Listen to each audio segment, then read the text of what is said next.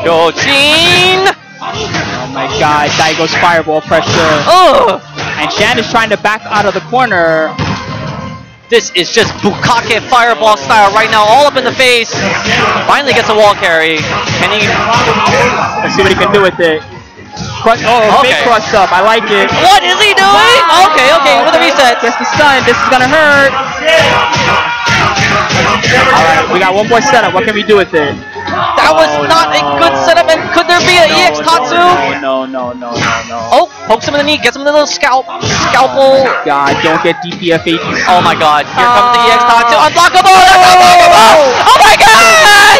The evil champion has been eviscerated, castrated, humiliated, mutilated, hung out to dry. The old man has crumpled into the floor.